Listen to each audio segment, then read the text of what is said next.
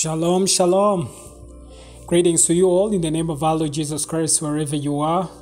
What an opportunity, what a blessing to have you and have this opportunity to share with you the gospel. And we bless the Lord for being who He is.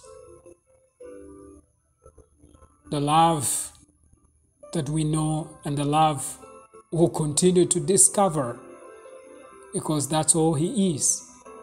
Thank you, Lord Jesus. I pray for you that today you will receive something, you will understand the power that is in the heart and in the mouth. That combination is very key for the experience, for you to experience salvation. We've been learning the understanding of uh, the word Lordship, the Lordship of Jesus Christ. What does it mean when we say, when the Bible says uh, in Romans chapter 10, verse 9, that if thou shalt confess with thy mouth the Lord Jesus. I was explaining the Lordship of Jesus. When you confess that Jesus is the Lord, brothers and sisters, it means a lot. It means that you belong to Him. It means that He owns you. It means that no one else has power over you other than Jesus Christ. Nothing else will be able to take over your life but Jesus Christ. And you are declaring that He has risen from the dead. And you are using the very word that the Jews used to use uh, when they wanted to talk about Yahweh. So they used to use that word Yahweh. It was very, very significant. So Paul is using the same word to declare that we're talking about Yahweh. This is amazing. So you belong to Him. And this was used, of course, in the Old Testament. And it was the name of God. So the one who confesses that Jesus is Lord affirms his deity. You are saying that God, that Jesus is God. You are saying that Jesus is God. This is amazing. When you study, of course, in Romans, you continue later in this chapter 10, verse 13, you will see that Paul quotes Joel 2:32, where the remnant of Israel is envisaged as calling upon God by invoking his name, whereby he say that if you call upon his name, you shall be saved. So Paul presents Jesus to his Jewish audience as fulfilling the role of the Lord God. In short, Paul seemed to have no qualms about transferring God's role in eschatological salvation to the risen Jesus. Thank you, Lord Jesus. The whole work that Jesus did and rose from the dead, Paul is saying, He is the Lord, He is God. That the work He did, He had the ability and power to accomplish it, and no one else. Only Him in that position had the power to do it. So the two elements of the inward heart belief and the outward confession of the mouth are brought together into this verse. So he's not only teaching us to confess with our mouth, with our lips, or profess with your mouth in order to be saved. Get it? He's not saying that you just use your mouth to be saved. No. We are to profess the faith, but the profession without authentic faith attaining it will justify no one and will fail to deliver the genuine experience of salvation. So the idea of confessing is not enough. Paul is not talking about the confessing because you will not experience salvation until it is genuine from within your heart. It's from the revelation that is full of your heart that you confess. You only confess what is full of your heart. Whatever that feel, whatever that fills your heart becomes your confession. So he also uses the word believe because he says, if you confess conf- if you shall confess with your mouth the Lord Jesus and shall believe in thine heart. Believe. What is the word uh, believe mean? What does it mean here? The Greek word of believe means believe means pisteo.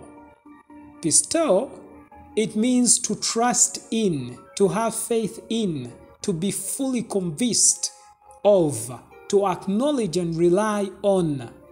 It carries in in it three vital aspects that constitutes living faith. You see, you have to trust in. That is the meaning of believing. Believing is fully convinced. When you say that you believe into something, that means you are fully convinced of that very thing. Do you know that people claim to believe and yet they don't believe because they are not fully convinced? So the, the conviction is key here. Before you confess or profess anything, are you really convinced or you're just speaking things outwardly? So, one, this means that a person trusts that places the entirety of oneself in the safe keeping of the object of one's faith. So you mean that you trust and place all your entire being into someone's hands. It is that complete, total dependency. Number two, it means a mental assent by means of intellectual persuasion. So you have to be convinced in your intellect that results the mind on a fixed conclusion beyond argument.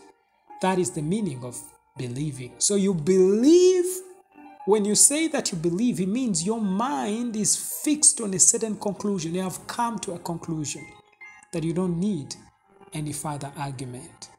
Glory to God. That is what it means to believe. You know, many people don't believe, they just uh, guess. they guess. They don't know, they are not sure.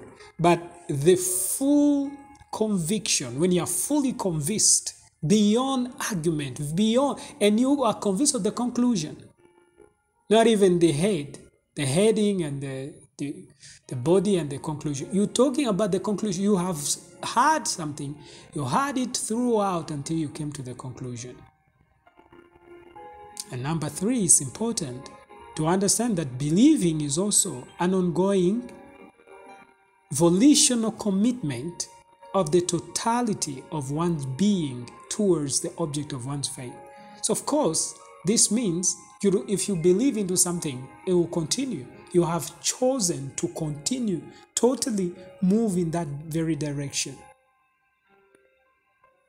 So, and you're using your will to say yes, yes, yes. You see, that is believing. But I'm telling you, you cannot believe something that you have not heard. You have to hear something and then you believe. You have to hear something before you believe. You cannot believe into in, in, in, in, in emptiness.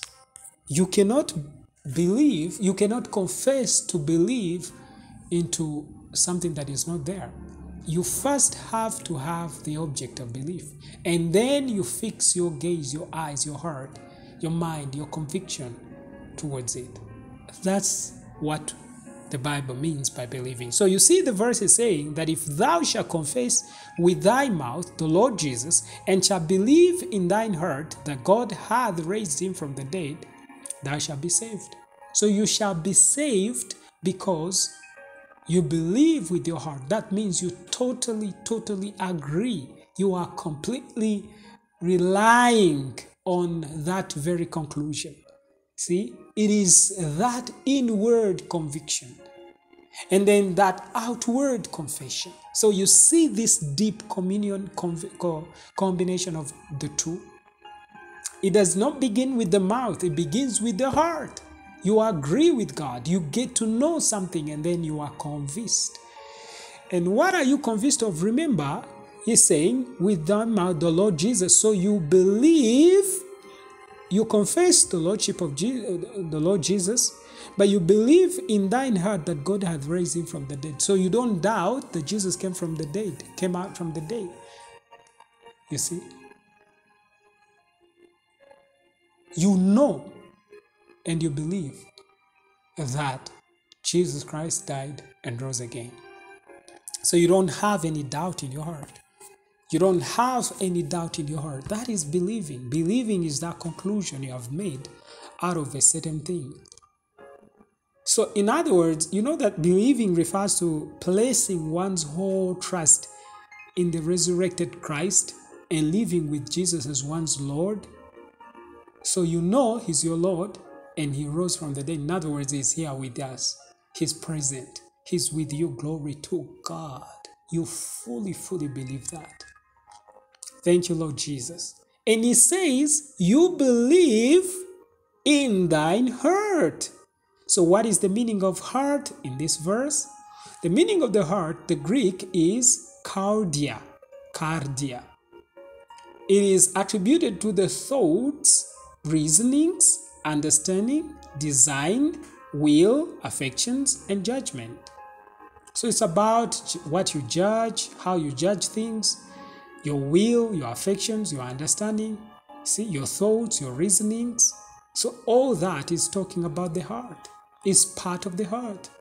See, therefore, if that is true, then the heart is used as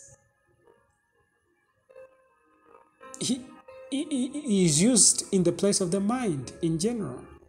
So the understanding, the memory, the intention, and desire of man and his conscience. That's the heart.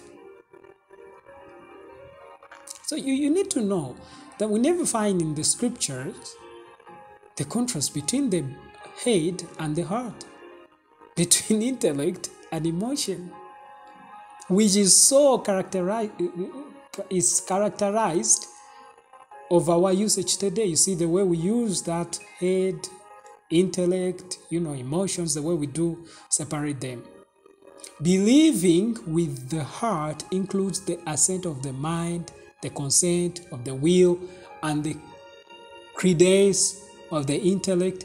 It is the particular mode of thinking that is guided to its subject, to its object, you know, by the testimony of authority of another or by some kind of information. So someone will speak certain things, will, will, teach you or give a message, and as you hear in that message, because that message conveys an information, you it results in you believing. It results in believing. And also it can be a testimony from someone. It can also bring you to believe. So it is a result. The believing cannot be cannot exist un- until there is that message, that information which is given to you. This is what i have been saying.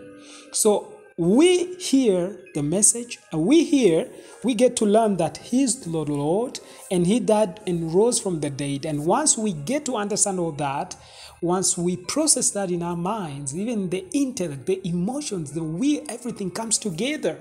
That's what is called the heart. He said, You believe with your heart. You believe with all your heart.